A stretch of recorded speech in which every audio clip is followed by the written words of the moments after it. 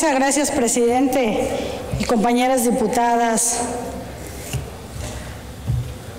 Quiero dar igualmente la bienvenida a los integrantes de Amigos por Playa, quienes durante muchos años, con sus familias y generaciones, han mantenido viva esta tradición de celebrar el 14 de noviembre de 1902 como la fecha cierta de la fundación de Playa del Carmen, e hicieron sinergia con una servidora para traerla hoy a este recinto legislativo.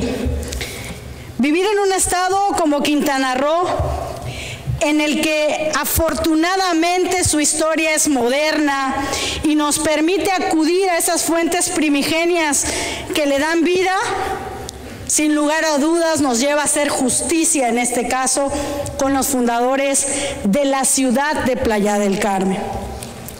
Agradezco infinitamente a mis compañeros y compañeras diputadas Anita Pamplona, Linda Cobos, Iris Mora, Wilber Batún, Fernando Chávez, Roberto Herales, Edgar Gasca y Atenea Gómez, porque en las Comisiones Unidas elaboraron este dictamen, como también obviamente estoy segura que agradeceré infinitamente a todos y cada uno de ustedes en el momento de la votación de este pleno, pero en particular a, los compañeros y compañeras diputadas porque sé que era una servidora muy insistente para abordar estos temas en el seno de las Comisiones Unidas. En Quintana Roo hay muchas localidades que tienen cientos de años de historia, unas más, otras menos. Hay comunidades con tradiciones muy arraigadas, pero en el caso de solidaridad realmente fue titánico poder conseguir un documento o algo que nos permitiera de manera fehaciente e indubitable tener la certeza de una fecha cierta que nos llevara a la fundación de esta ciudad que hoy es la cabecera municipal de un municipio tan pujante como Solidaridad. Y ahí está la función de los miembros de esta C Unidos por Playa, que no aguantaron un no por respuesta, que mantenían viva la tradición año con año en solidaridad, pero se dieron a la tarea durante años de buscar en el Archivo General de la Nación, de buscar en la memoria histórica y conseguir ese documento en copia certificada que fue presentado en el seno de estas comisiones y que acompañó esta iniciativa. ¿Y qué es tan importante de este documento? Pues precisamente como gran parte de la historia. Es precisamente ese pasaje un poco poético, un poco romántico de este jefe del campamento que le redacta a, a su vez a sus superiores que se asentaron en una playa en la que los lugareños y ellos han llamado del Carmen. 14 de noviembre de 1902. Es precisamente este documento el que da origen a esta tradición que ha mantenido viva estas familias que abrieron los brazos a ese campamento y que aún hoy siguen abriendo los brazos a los cientos y miles de personas que eligen Playa del Carmen para vivir que eligen Playa del Carmen de cualquier lugar del mundo como ese lugar ideal en el que quieren construir su futuro.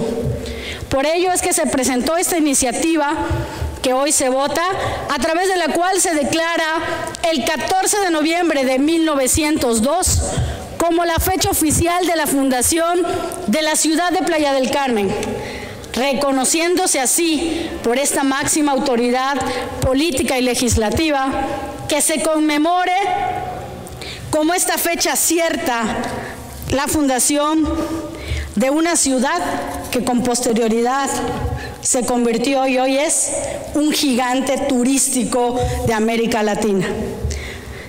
La forma en la que se dio, como lo he dicho, fue a través de una visión de la construcción de un lugar incluyente que pasó de ser una aldea de pescadores a una ciudad cosmopolita como lo es Playa del Carmen. José Martí pronunció la frase honrar honra y usando precisamente esta frase, yo les pido, compañeras y compañeros diputados de esta decimosexta legislatura, que honremos a Playa del Carmen y contribuyamos con las acciones como la que se contempla en este decreto.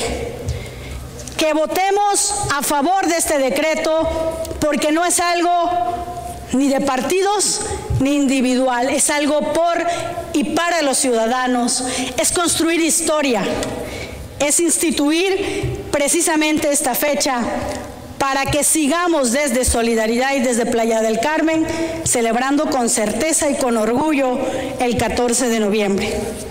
De antemano les agradezco su voto, porque estoy segura que fieles al espíritu que aquí se ha demostrado de que cuando se trata de impulsar aquellas iniciativas y decretos en las que nuestro amor por Quintana Roo nos permite coincidir, siempre se logra la unanimidad.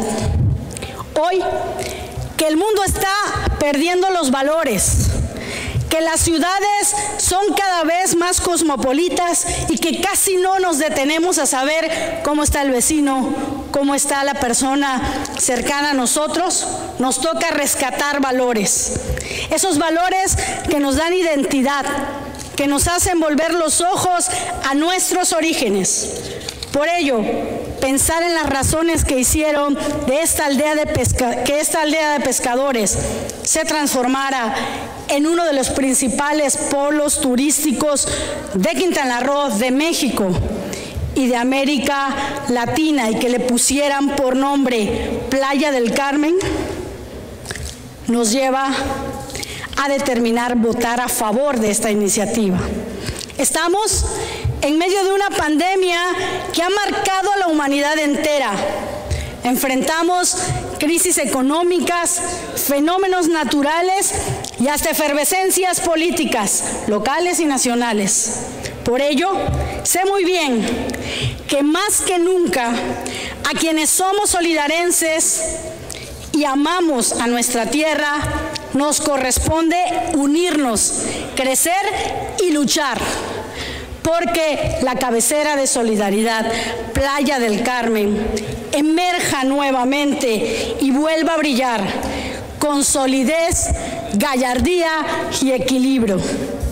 Desde mi opinión particular, las circunstancias que estamos viviendo los playenses, nada o poco tienen que ver con un partido político en particular, porque el gobierno es de seres humanos mismos que están o no comprometidos con sus ciudadanos.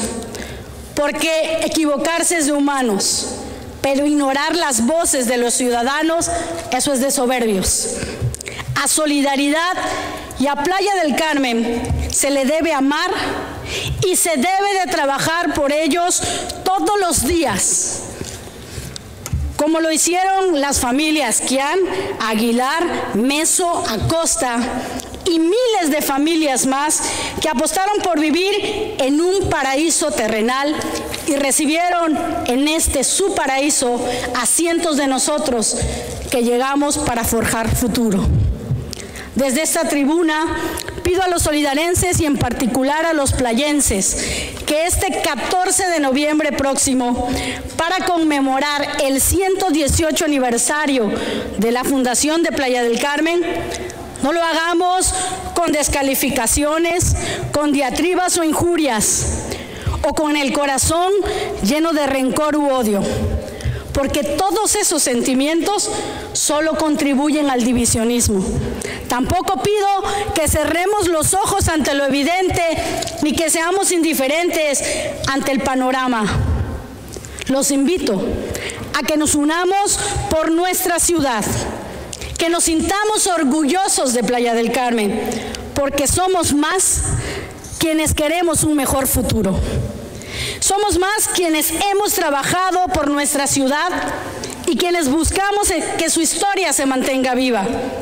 Por tanto, quienes vamos a continuar trabajando de sol a sol para seguir escribiendo la historia de un Playa del Carmen grande, fuerte, sólido, porque sí es posible un mejor futuro y juntos podemos construirlo.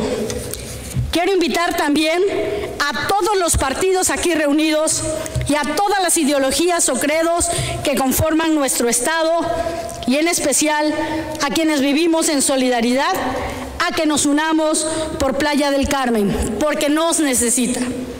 Porque hoy la pandemia y mañana los huracanes nos necesitan unidos, fuertes y sólidos, construyendo un frente común. No basta con pertenecer a tal o cual poder público o ser de tal o cual partido y vivir señalándonos o en confrontaciones mediáticas y estériles.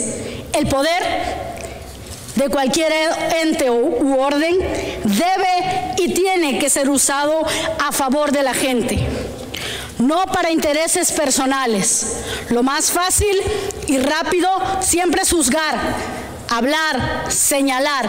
Lo difícil es trabajar, es crear, proponer, aceptar sugerencias, pensar libremente, disentir y aceptar nuestras diferencias para poder ser proactivos y construir en pos del bien común.